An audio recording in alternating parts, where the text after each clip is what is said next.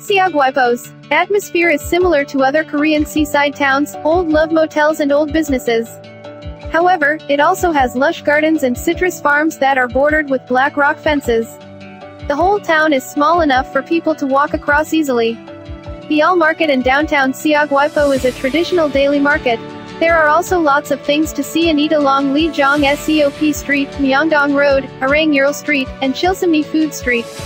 Also, Seogwipo offers the most beautiful nighttime scenes in Jeju.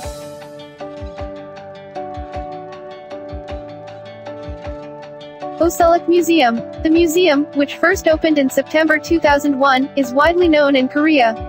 At the O'sulloc Museum, not only can visitor enjoy unique O'sulloc teas but they can relax next to the lotus pond in the indoor garden. The second floor of the building has an observatory, so visitors can enjoy the views of the nearby green tea fields and the surrounding landscape.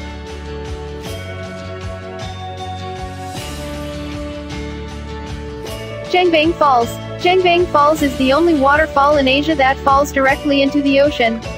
On the wall of the waterfall, there is an inscription written, Seobilgwaka, referring to Seobil passing by this place.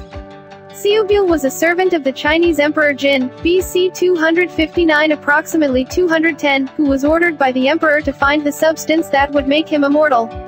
Seogwipo is also said to have gotten its name to mean Seobil headed back west.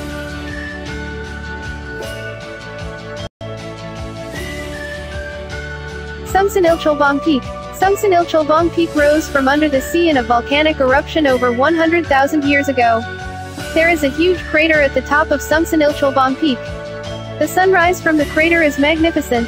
Also the Sumsunilcholbong Peak surrounded by bright yellow-colored rapeseed flowers in the spring is truly a sight to behold. Seogwipo Submarine Tour. Seogwipo Submarine offers safe undersea tours in its recently acquired state-of-the-art submarine from Finland. Museum, where the submarine travels, is home to outstanding coral reefs, colorful schools of fish, and rich seaweed.